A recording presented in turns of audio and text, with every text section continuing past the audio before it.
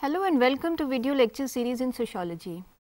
Today we are going to discuss chapter 4 titled as Culture and Socialization from your textbook Introducing Sociology. For understanding we will divide this chapter into 4 parts. In the first part we will discuss about culture and its components. In the second part we will talk about various aspects and dimensions of culture. In the third part we will talk about cultural change and how culture gives us identity and in the final part we will discuss about socialization and various agencies involved in the process of socialization. Let us start discussing about culture. What is culture or what do we mean by culture? In a layman's perspective, we try to understand what is culture or figure out what is culture. Suppose an American friend of yours asks you, what is Indian culture? You might take some time in order to identify what are the various things that you classify as Indian culture. In day-to-day life also the term culture is used to refer to acquiring of a refined taste that is the so called modern taste say in exotic music or classical music, dance forms or paintings or any other thing. This refined taste is called as culture and it distinguishes us from the other so called uncultured masses although we should not use this word as uncultured, but like preference for coffee over tea. So, what is this culture? that we adopt or reject. We often use the term culture in our daily life, but what do we mean by it? It becomes very difficult for us to explain this to anybody who asks you about what is Indian culture. And it is of great interest to sociologists and anthropologists and also for students of sociology who are particularly interested in the concept of culture because man is a social animal and social is made up of culture only. Culture has been defined in a number of ways, but most simply culture is a set of learned and shared behavior of a community of interacting human beings that is those who interact with one another share something in common. Sociologists look at culture not as something that distinguishes individuals, but culture is a way of life in which all members of a society are socialized. As a way of life, what does it include? As a way of life, culture includes your language, rituals, norms, traditions, values, dress patterns, food habits, religion, mannerism, architectural styles, family structures and almost everything that is part of your society and social structure. These are called as various components of culture. Sociologists attempt to define culture in wide variety of ways. Let us look how sociologists define culture. Bronislaw Malinowski says culture comprises of inherited artifacts, goods, technical processes, ideas, habits and values.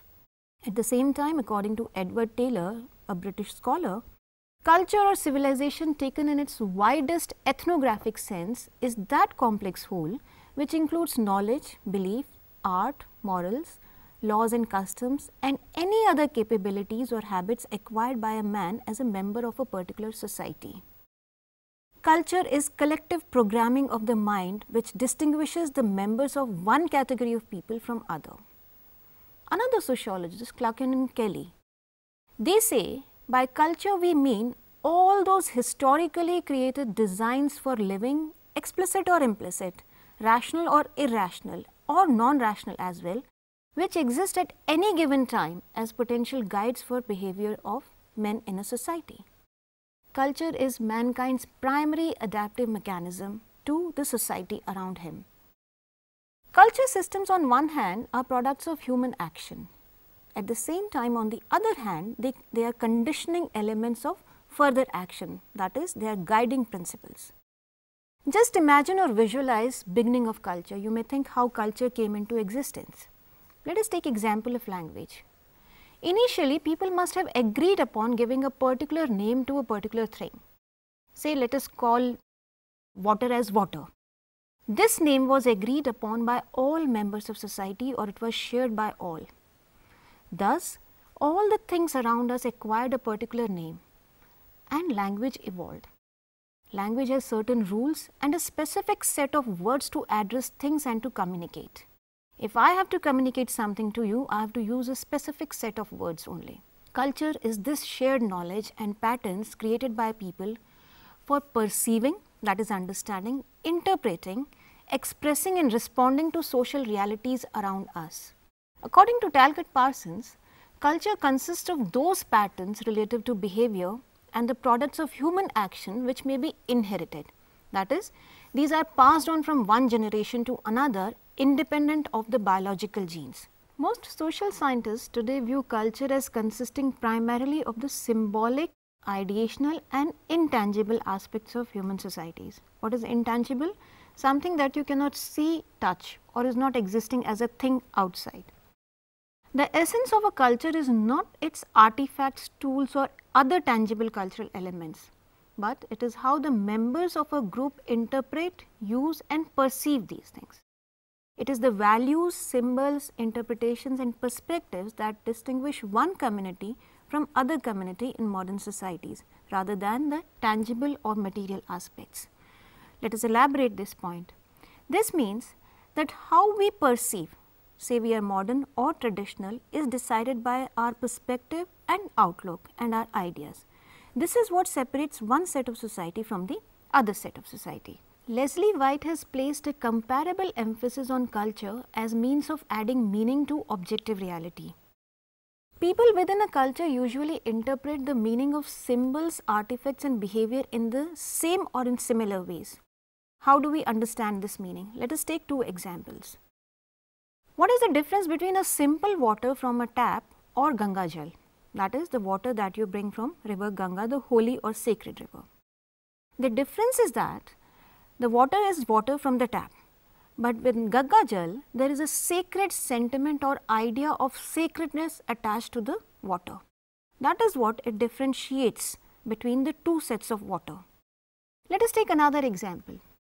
An animal is considered to be sacred by a particular religious community. They have a sense of sacredness or a sentiment attached to it. That is why some communities worship these animals and the other community tend to take them as normal. According to Clifford Geertz, we look at human actions in the same way as we look at words in a book and see them as conveying a particular message. Man is an animal suspended in webs of significance. He himself has spun I take culture to be those webs. The search is not for causal explanations like A leads to B. What is a causal explanation? But it is for interpretive one that is for the search of meaning what is good or bad in the society. This capacity of individuals to develop a common understanding with others and to draw the same meaning from signs and symbols is what distinguishes us or human beings from other animals. In animal societies, behavior is structured or guided around the framework of instincts. Say for instance, every springtime swarms of flies come into existence. They collect honey and die as winters approach because they are going by genetic or by natural or biological instincts. In human societies, behavior is structured around the framework of culture.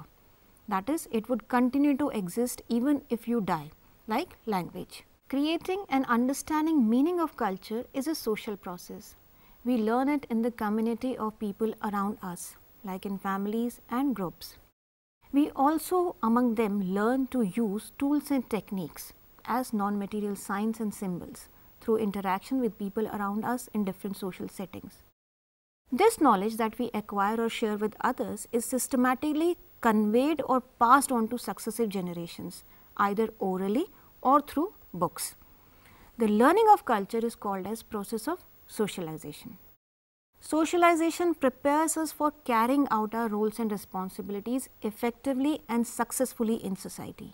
Every individual in society as you know has certain social roles and responsibilities and a corresponding set of expectations like father is a social role, he has certain responsibilities and there are certain set of expectations from this role.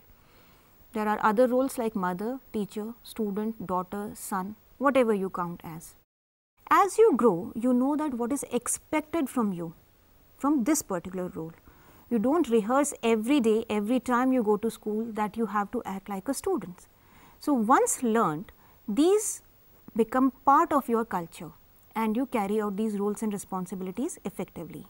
These set of ideas are called as culture. Another important element in defining culture is that culture is essentially a contested concept. What do we mean by this?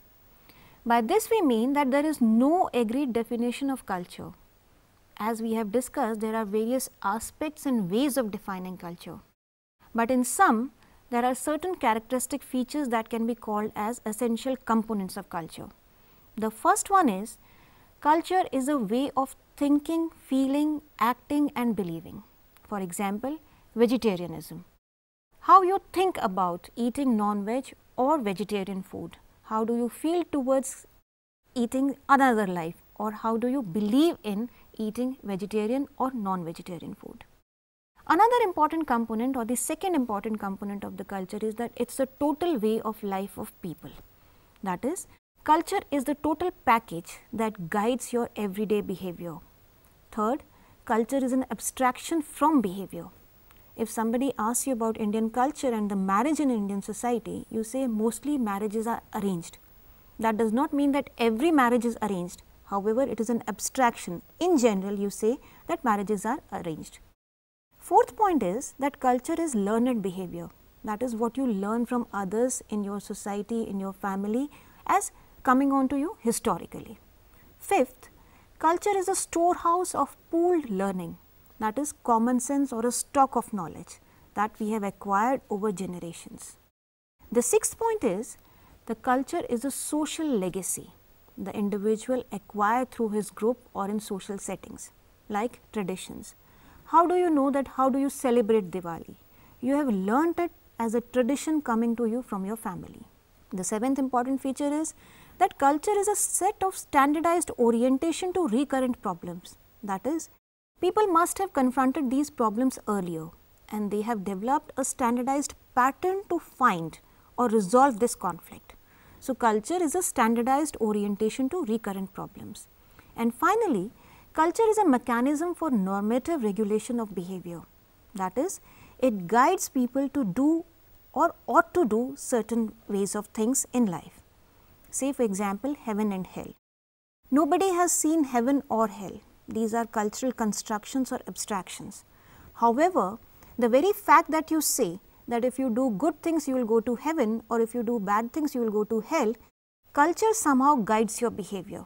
The unseen entities tend to guide your behavior and regulate your behavior. Now, do you find anything common in these definitions and explanations of culture that we discussed just now? You will see that the first there is an emphasis on ways that is patterns of behavior. That is how people are required to behave in a particular society. The second important element in this definition was or in these characteristic features was it is shared by all or it is shared by the community. The third important component emphasized upon learning, learning through process of socialization. And finally, the fourth important element is that it directs the behavior of people or acts as a set of guidelines for people to follow. Culture also provides us identity. It helps us to define who we are, what group we belong to, what is our history, who am I. It gives us a sense of belongingness or rootedness to a particular community. The shared pattern of behavior and interaction, cognitive constructs and affective understanding which we learn through process of socialization these shared patterns identify the members of a cultural group and they also distinguish those who are part of the other cultural group. What does this mean? It means that those who share a common culture are part of one cultural community and those who have a different set of cultural practices, rituals, customs, language, food habits are seen as the other or the other cultural group. This distinction leads to determination of in-group and the out-group boundaries. Also, the members of the in-group see themselves as us or we belonging to a particular group as compared to the others, those who become part of the out-group or those who become the part of the others. To conclude, let us summarize what we discussed in this part of the chapter. In this part of the chapter, we started discussing about what is culture or what do we mean by culture. We discussed about various definitions of culture and various components of culture. We also discussed about aspects and important components or elements used in defining the concept of culture and understood that how culture is a contested concept. In the next part of this chapter, we will discuss how different cultures emerge in different physical settings and about various dimensions of culture. Till then, you can enjoy reading this part of the chapter. Thank you. Música